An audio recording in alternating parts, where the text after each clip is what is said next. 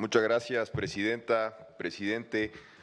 Seré muy breve nada más para señalar que reconozco la caballerosidad del senador Corral de hacer llamadas telefónicas para convocar a una comisión, pero también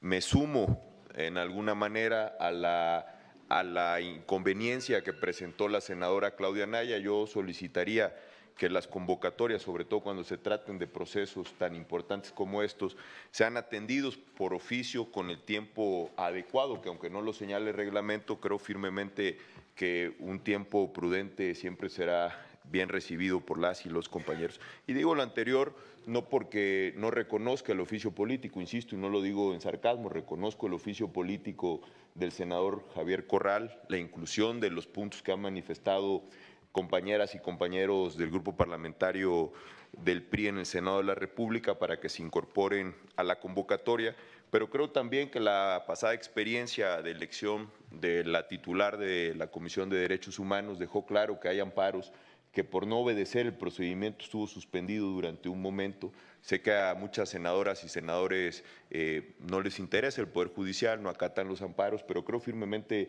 que para cuidar todo procedimiento seamos cuidadosos de los tiempos, seamos cuidadosos de las convocatorias. Celebro que hayan aceptado que el grupo parlamentario del PRI haya propuesto la participación de la sociedad civil. Creo firmemente que si se involucra la ciudadanía en algo tan fundamental como son los derechos humanos, llevaremos a mejor puerto las determinaciones de esta convocatoria. Y también me sumo a, a la solicitud, a la petición de que la mayoría no imponga sus mayorías, sino que precisamente busquemos a los mejores perfiles, que si el nuevo gobierno lo que quiere hacer es auténticamente atender los derechos humanos, pues creo firmemente que hay hombres y mujeres, incluso de izquierda, que cumplen con el perfil y que si se lograra ese consenso, valoraríamos en el grupo parlamentario acompañar esas propuestas. Es cuanto nada más, sí que quede por escrito, señalado, que acompañaré, que votaré la convocatoria porque es la determinación de mi grupo parlamentario, pero también me uno a la manifestación que ha hecho la senadora Claudia Naya de que cuidemos los procesos y los procedimientos. Estamos en el Senado de la República y creo